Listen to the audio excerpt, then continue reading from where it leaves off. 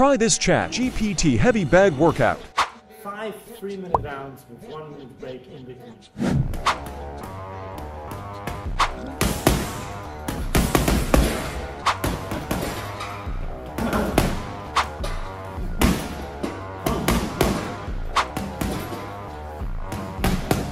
What you think of this workout?